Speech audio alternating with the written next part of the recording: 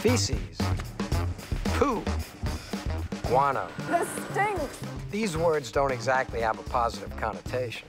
Let's face facts. It's not nice to call something a piece of but poo is a source of power. How much power?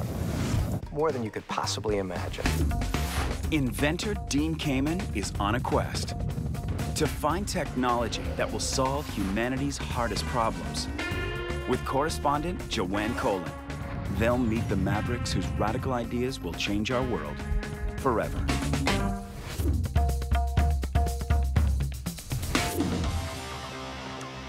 So, Joanne, I have an interesting statistic for you.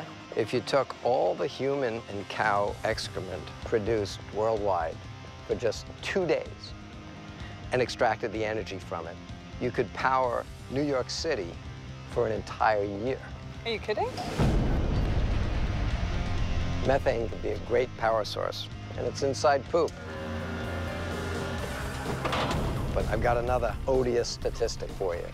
Cows alone produce nearly 15% of methane gas.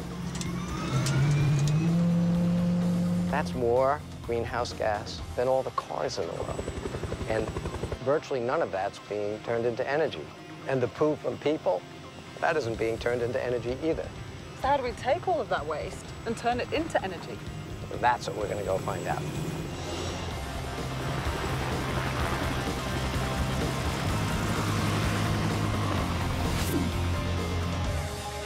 While Dean heads to California, I'm at Blue Spruce Farms in Bridport, Vermont. From the outside, it looks like your typical farm. But inside, a dairy farmer named Marie Audet is taking American agriculture into the 21st century, using massive makers of energy, awesome emblems of environmental efficiency, cows. We milk 1,100 cows. Yeah, Wow. and they give How us. many are in here? There's probably uh, uh, 500 in here. Okay.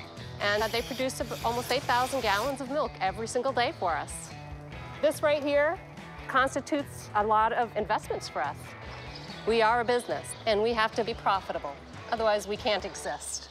Marie's family opened the farm in 1958. Since then, while demand for dairy has gone up, prices paid to farmers have largely stayed stagnant, driving most family farms out of business. 50 years ago, I think there was 640,000 dairy farms providing food for the country. We're down to just over 50,000. There are not very many of us left. So now we're trying to reach out and say, okay, we can be smarter about this. We've got to find technologies to make us more efficient. Marie considered a variety of options, but the best way to bring costs down was right under her nose. Our cows, we can count on them to poop 24 hours a day, Yeah, seven days true. a week. No shortage of manure. That's right. As long as they're eating, they're creating fuel for cow power. Here's how it works. Most cattle farms dump their cow poo in big lagoons, which can leak, poisoning the land and nearby water supplies. Instead, the manure on Marie's farm is first collected in the barn. Well, if you look right down at the floor underneath the cows, we have what's effectively a squeegee on wheels. Oh, look, here it goes. That's a lot of cow manure. Then the feces flows into a big tank that's heated to 100 degrees called the digester. So, Joanne, I bet you don't know you're standing on top of 600,000 gallons of manure. Like all animal poo, this manure emits methane gas. The methane rises to the top of the digester where it is pumped into the generator. The gas fuels the generator, which produces electricity, which goes through the cables to support the local power company's grid. And so this is enough to power your farm. and more. We power equivalent of 400 homes. So you and your family have no electricity bills. Exactly. We have a credit. we get some money back. And the poo's powers aren't exhausted yet, because after all that time in the digester, its liquids are filled with nutrients. Now, most of that can be used for fertilizer, but some are heading to America's first family farm algae facility fueled by feces. This is the first of its kind algaeponic system. We're basically taking the wastes that Marie provides us with, um, lots of nutrients from the manure and growing algae um, in this facility. From the algae, we'll then extract oil. Algae have a lot of oil inside them, but getting it out isn't easy. Now, for the first time, engineers are using a new approach with an existing technology called electrophoresis. While covered in water, the algae would be given an electric shock, ripping them apart and releasing their oil. That oil then rises to the top where it is siphoned off and used for biofuel. And there's a high yield of oil from this sort of fattened algae? Yes, you can get a lot more oil from algae than you could, for instance, oil from soybeans or oil from any other um, oil crop. So algae has the potential to produce a tremendous amount of fuel on a very small area. The plan is to use the algae's oil to fuel their farm and farms nearby. Marie and Mark think they're about one year away. If you're the first one who's kind of stuck your neck out on the line to really make this happen, I mean, it's kind of a brave thing to do. This creative energy that you're sensing here is probably out of necessity and survival as much as anything else. You know, our family's been here for 50 years. We have, we provide our own energy needs from within the farm. And if we can do that, we're going to be here for a long time. These technologies that you're seeing here, I mean, that's the way of the future. This is the future of American farming. Coming up, can your bowel movements make coal? Almost, but getting there ain't pretty. A lot of in that truck.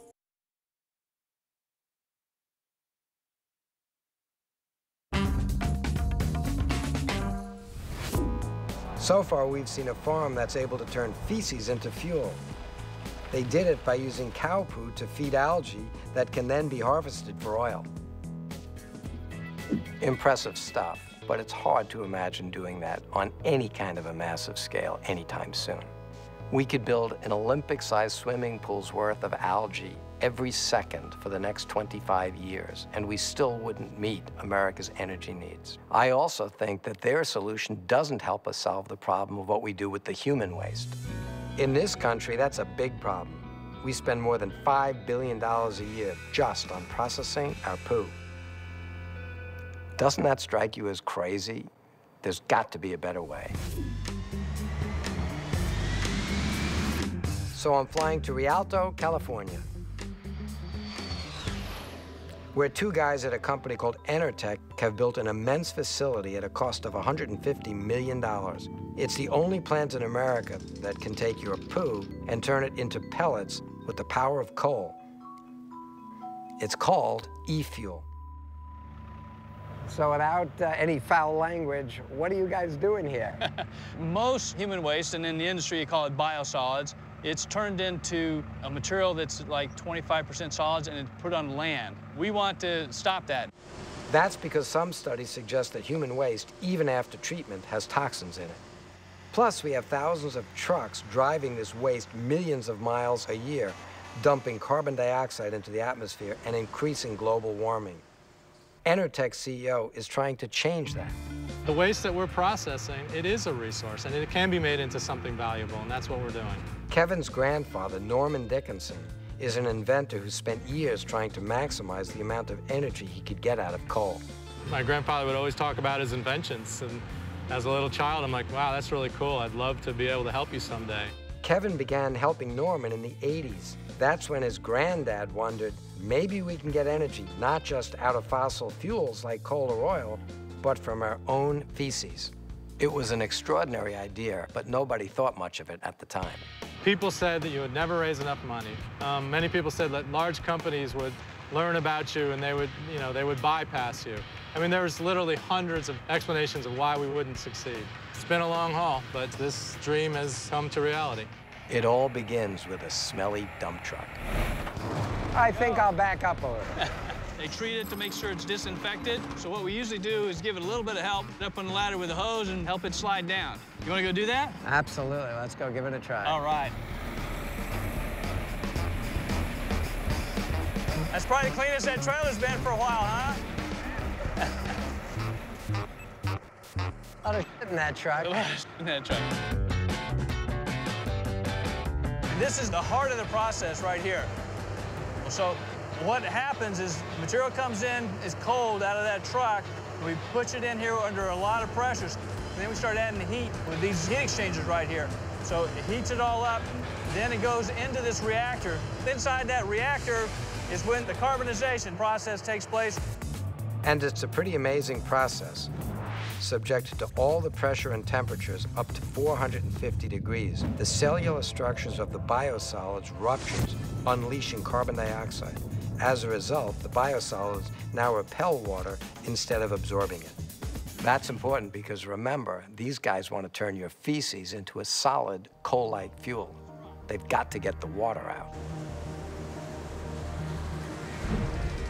So what's the big cylinder? I assume maybe the dryer? You got it. The biosolids are dried and then separated.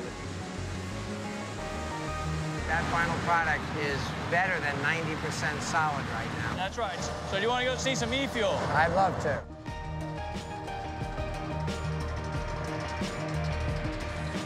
So, you're about to hand me a pile of poo. Think of it as 21st century coal. You know, most people know how to turn money into... It's nice to know that you're turning this into money. That's right. It takes us about a day to turn that truckload of poo into this e-fuel. Coal takes about 100 million years. E-fuel has only half the energy of coal, but it only has one-third the price. That means people that are using e-fuel are getting 66% more energy for your buck. No other solid biofuel even comes close. But it's the potential environmental savings that are really exciting. We save about 80,000 tons a year in greenhouse gas, all carbon dioxide emissions, compared to a, a plant that's using coal. So every ton of your fuel that gets burned instead of a ton of coal is a big win for the environment. If all the waste treatment facilities in America made e-fuel, we would reduce carbon emissions by an astonishing 6.5 million tons a year. That's the equivalent of taking more than a million cars off the road. So it's a win-win-win. It's a win-win-win. With global warming on the rise, it looks like the once ignored ideas of Kevin's granddad are finally being taken seriously. We've got a lot of people uh, visiting this site from all over the world. Things have come together for us, and it is a perfect time. Well, you might turn out to be like a lot of the other great successes I've met in my life. After about 40 years, an overnight success. Yeah, thank you. Coming up, a fiery furnace of feces pushes Joanne to the brink. This stinks.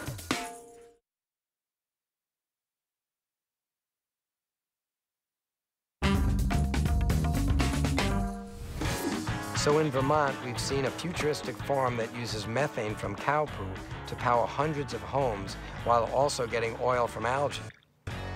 And in California, we've checked out a facility turning feces into fuel. But that algae's a ways off from making enough oil to matter much, and the California plant is still using a lot of electricity. But what if there were a way to harness every bit of energy from feces without using any electricity at all? That would mean a real green revolution, and appropriately, it starts in Ireland.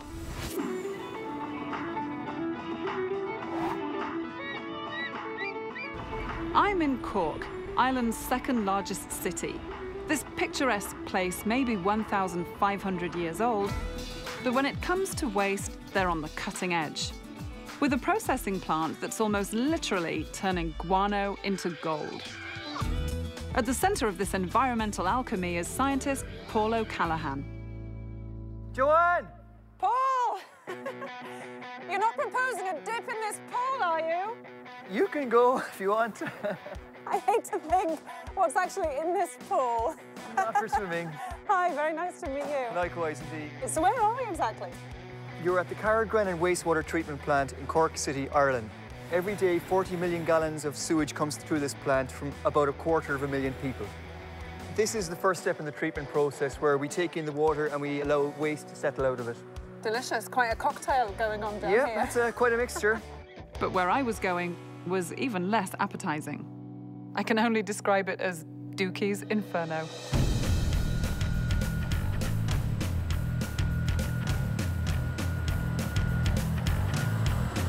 Okay, look, I brought you here today to give you an idea of what we're dealing with. This stinks. It does, it does indeed, I agree. It's a powerful smell, so is the energy that it can potentially produce. You seem fine. I'm used to it. Currently, they dewater it, they dry it, and they spread it onto farms. What we're going to look at next will be a technology which can take this and unlock some of the energy and the resources which are actually contained within it. So I hope that where we're heading, I'm going to feel a bit less nauseous. You will, you will. Are you going to stay here another hour to get used to it? No, I don't want to do that. Let's Okay. go. So all of that dried material, all of that dried sludge we saw in that building. there's We still- smelled in that building. Indeed, it smelled. So still has energy locked inside of it. A lot of energy. That's energy which is going through this plant 365 days a year and in every city in the world that has a wastewater treatment plant. You can potentially unlock that energy and we just need to change how we think about it to see it as a resource as opposed to a waste. It was onto an experimental plant run by a cutting edge company called Supercritical Fluids International. So, welcome to our treatment plant. This is our demonstration facility where we can treat the sewage waste from 14,000 people.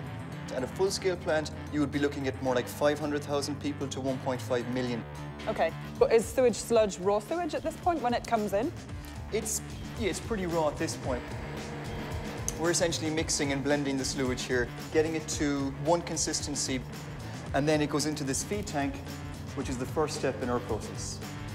The treated sewage goes through pipes and into a series of pumps. This is the next step, really, where we bring it up to pressure using these pumps. These are high-pressure pumps. We increase the pressure to 3,200 pounds per square inch. Which sounds like a lot of pressure. Yeah, it, it's an incredible amount. 3,200 psi, it would be like an elephant standing on a dime. Okay. Or Squashed. Squashed, indeed, yeah. Or about 100 times the pressure in a tire of your car. Then we increase the temperature. We've squished the poo, now we're going to cook the poo. Exactly. We Okay. squished it, and now we're going to heat it and bake it. What kind of heat are we talking about? You're talking 700 degrees Fahrenheit. Wow. That's hot enough to melt lead, about 500 degrees beyond water's boiling point. I think I'm intimidated. Come into the All right future. then. I step into what Paul calls the hot room. It's here that one of the most difficult problems in waste disposal is dealt with. Of the reactor. What to do with the water that makes up most of our poo. So, organic waste, human waste, animal waste, they're mostly water. Even though it doesn't look like it. Yeah, it's still 70 or 80% water. I mean, you and I are 70% water, and uh, our waste is even higher percentage. Remember, we spend $5 billion a year just processing our solid waste. And most of that cost is just to separate the water from the solid waste. What if we didn't have to do that? Here, rather than trying to remove the water from the waste, we use the water. We use the water as a medium to destroy the organic material. It's a breakthrough idea. Coming up, you think you know H2O. It can be a liquid, ice, steam. Well, guess what, science fans? There's a fourth form of water. And what these guys are doing with it might just change the world. To get the inside poop on how human waste is being used for energy, go to planetgreen.com slash dean.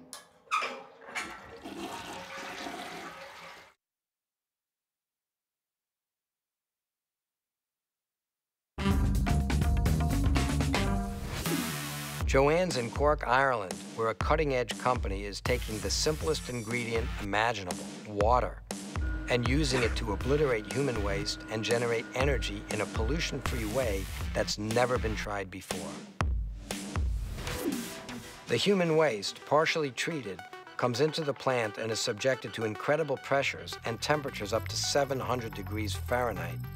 This combination brings the water way past its boiling point. It's no longer water, it's not steam, and it's definitely not ice. It's not a solid, it's not a liquid, it's not a gas. It's in a fourth state, supercritical. It's somewhere in between a liquid and a gas. It will diffuse like a gas, but it will dissolve like a liquid. And you get very rapid rates of reaction in supercritical water. These reactions are so dramatic that engineers all around the world are racing to use this fourth form of water in nuclear reactors. That's because this fourth form of water, invisible to the naked eye, has enormous power. Supercritical water oxidation will basically destroy any organic material known to man. Pharmaceuticals, explosive wastes. Oh. Um, Poo. poo, that's one of the easier ones to Is destroy. Hazardous, toxic waste. Absolutely. Any highly hazardous, highly toxic waste will be completely destroyed in this process. In just 60 seconds, the piped-in poo is completely dissolved and broken down into its molecular components. Supercritical, super quickly. Indeed. So much steam is produced from the water that it can power the entire plant and then some. Additional energy is sent onto the electrical grid for use by homes and businesses, and the carbon dioxide is sold as gas. So what you see here in these beakers, that's what we started with. Right. Within 60 seconds, it was completely oxidized. We've decanted the water, and this is the ash which is left behind. That's the silica. That would be the silica. The silica, a clay-like material, can be sold as an ingredient to make cement, This is phosphorus. and the phosphorus is used for fertilizer. So the waste coming into this plant is 100% recycled. It's almost impossible to imagine that there aren't harmful byproducts from being able to do this. You get complete destruction of all the material in there into harmless and safe byproducts. So we're actually releasing the energy, can export electricity back to the grid, as opposed to consuming energy in the process. Who knew? It's all in the poo. It's all there. You just got to figure out how to reuse it.